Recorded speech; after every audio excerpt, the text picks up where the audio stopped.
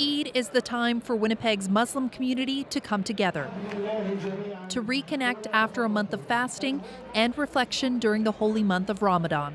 Normally, we are, we are busy with our lives and work and all, but these two days, like this Eid and the one uh, Eid that's coming two months later, it's like one opportunity, one day where we all come together, you know, and it's really good.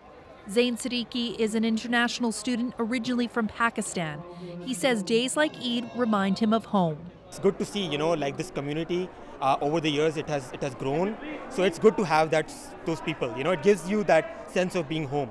At least like for two times in a year, you get that sense that there are similar people around and you're not alone. In previous years, the Manitoba Islamic Association held Eid prayers at the RBC Convention Centre, but that space wasn't available this year. Instead, they held events across the city, with the largest one at the Assiniboia Downs Event Centre. It's kind of sad story, but you know, it's in other way it's very good also. We spread out around the city.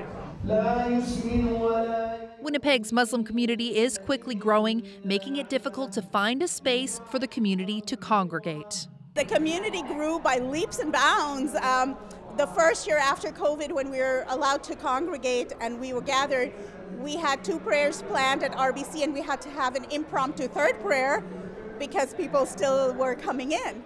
Eid at Assiniboia Downs attracted politicians from all levels of government and all parties. It means a lot to Latif to see the city and province support his community. We're very happy to see them because they are supporting us for the years. It's good, very good. Yeah, it's pretty good.